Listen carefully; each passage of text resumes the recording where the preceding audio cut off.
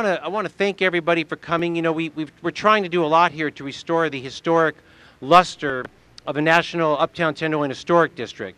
And, you know, over the past couple years, we've, we've installed plaques, historic plaques in over 100 historic buildings. We have a lost landmarks sidewalk program we're soon going to institute. But we also wanted to restore some of the historic old advertising signs, which really develop the neighborhood's character.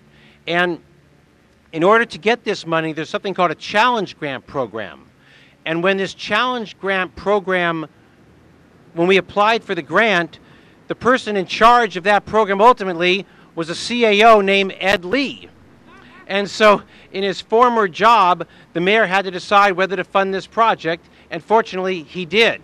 And if, if is Lenita Henriquez here from the Challenge Grant Program? Lenita, she said she was going to be coming, but but Lenita uh, shepherded it through, and we had support, uh, additional financial support from Bill Takor, who, who uh, runs the Warfield. Where's Bill? Bill, who's been very generous, and John Dugan of Original Joe's, who will be speaking later. It's John Dugan. So I do want to mention, as we sit here, you see that great historic pedestrian lighting, which we only have on Taylor Street and on a small part of Golden Gate. I didn't know this, but it turned out when he was also CAO, Ed Lee got those installed on Taylor Street. And as part of our negotiations with CPMC over their hospital, the mayor's office, Mayor Lee is supporting a plan which would add 135 historic pedestrian street lights to the Tenderloin. So that is an incredibly important thing for those, both from an aesthetic point of view, but more importantly, a safety point of view, because we are also one of the darkest neighborhoods. So this is this is this is uh, a very important thing, but you can see how nice those are, and just imagine how they would look throughout the neighborhood. Before I introduce the mayor, I also want to introduce Leroy Looper, who went way back with Ed as I did back in the 80s in the Tenderloin.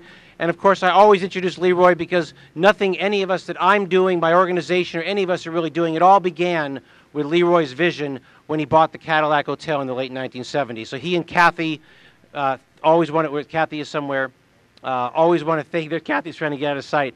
We always need to appreciate them for their contributions. So, before further ado, I'd like to introduce the person who made this possible, Mayor Ed Lee. Great podium there, Randy. Yes. Movable. Tenderloin. Yes. well, I'm happy to be here and also to celebrate these wonderful murals that have been restored. I mean, Randy uh, notes, and we've been working together for many, many years as tenant attorneys in the neighborhood for decades before. And I just love the fact that he's leading this effort with so many of the other community people, like John Dugan and others. And it, this community challenge grant was an easy decision that we made. And I see uh, Amy Brown here, our uh, acting city administrator. She's continuing that uh, very good uh, uh, community-based approach to our community challenge grants with Lenita working in close concert with people like Geo Grant from uh, City, a Clean City, and they're doing a lot of the sweeping around here and working with all the different nonprofits as well. Uh, I want to thank Tenderloin uh, uh, Neighborhood Development Corporations here today as well, and you're part of our partnership along with the uh, Tenderloin Economic Development Corporation. Thank you very much for being partners here today, Dave. And you know, I, I want to celebrate these because they are part of our history, but we're renovating them. We're renovating them and giving them a facelift. Uh, these things are historical parts of this district, and they give life to the history that we're still trying to make sure people feel and see the vibrancy of this community. And uh, you've got to see the other ones as well, because you'll see the one that says uh, uh Original Joe's. Sorry, John is here. And you also see a Coca Cola one. I want to I want to see whether Precita Eyes can put the, that other phrase in there. It's the real thing. I want I'm missing that. Uh, that's got to be there. But it's all about great restoration. We're even doing some restoration at City Hall this morning for some windows that were smashed as well. So the theme this week is restoration, uh, and it is about making sure we pay attention to the Uptown Tenderloin uh, Historic District. And we're also, we've done this for some years now, ever since the fire that occurred here. Unfortunately, there was a fire a couple of years ago. The city and my predecessor, uh, Gavin Newsom asked me to come down here and work with the arts community, use every uh, available idea that we had, and we work with Amy Cohen and other Amy's here today with Office of Economic Development to really put uh, some of the key dollars here. And we funded uh, Gray Arts Foundation uh, right at the corner with the Golden Gate uh, Theater and uh, with Show Dogs coming in at that corner with the Warfield Theater, their partnership, along with the Exit Theater, working our way up this great street and finding out it was and had a lot of history to unshowcase and to make sure that we used our artistic ability, the ability to forge different arts programs to come here. So that's why we invested in Gray Area Arts Foundation, and uh, they're taking over the old theater there. Uh, was a great help. And then now these murals, and I want to thank Precita Eyes for uh, their contribution in getting our two artists uh, here. Great artists who have histories of their own, and and their work is presented here in, in unveiling these uh, old uh, advertising murals. And we're going to do more of this. Uh, I mean, just if you look at this and you see how refreshed it is, uh, this is wonderful resurgence of this whole community. So we want to continue doing that. We want to do it in partnership with this neighborhood, and that's what Randy's been all about, and that's why I've loved working with him because he and everyone in this neighborhood wants to take pride in where they live and where they work. And we see kids growing up in the Tenderloin. They need to understand the history of this area, uh, and they need to make sure not only that they're safe, but that they appreciate the history of this whole neighborhood. So I want to thank everyone for their level of cooperation.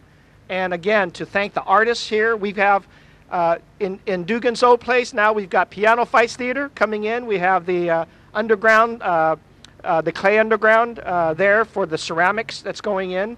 And that again will will represent the role that art plays in helping us forge a revitalization of this whole neighborhood. We're doing that on Central Market as well, and that's just a stone's throw away from here. Uh, and we're trying to revitalize this whole street. Uh, this is ground zero for where arts, where the civic uh, mindedness of neighborhoods come together with our local government to forge these ongoing partnerships and make this revitalization uh, very, very welcomed and new. And I want to also announce that if you go around the corner here, you'll see uh, On Sushi, the newest uh, restaurant around. And they're investing in our neighborhood. A, a, a very reputable restaurateur has come in, and they're going to start another trend of some great food establishments that will also be appearing around here as well. So you see this revitalization already happening. Uh, the inspiration comes from everybody working together and never abandoning our neighborhoods. We always don't want to do that, right? All right. So thank you very much for being here. Again, I appreciate uh, everybody's cooperation and, and their roles. Thank you. Very good. And the next speaker will be John John Dugan, who is a legend and who often uh, we, we, we, appreciate that he's came and again he helped support these murals on the other side of his building. John. Mr. Mayor, I know you have a busy schedule, but before you leave, thank you for the courageous decision you made to run, to keep this city ticking the way it is right now. And I speak not only for the Dugan family, but many of these people. You're a man of the Tenderloin. You've eaten a lot of meals here. You've been around here.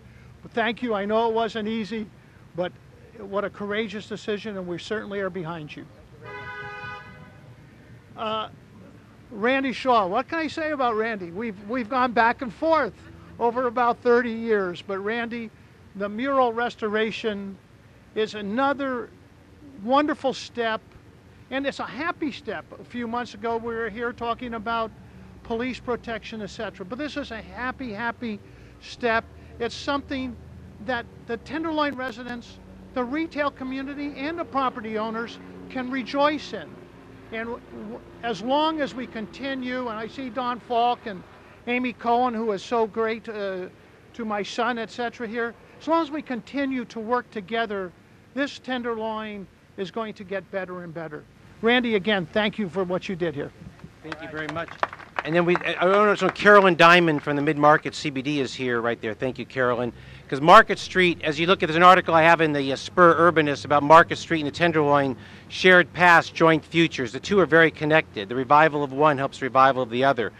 Now we're going to have the fun of hearing from the actual artist, Susan Cervantes. Susan, from Precita Eyes.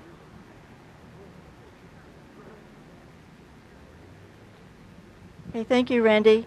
Uh, thank you, everyone, for coming out, and I want to thank the uh, mayor for such a passionate and caring uh, comments that he had made, which really covers all of it. Um, for our part, we feel uh, very honored to have this opportunity to do some restoration in the Tenderloin.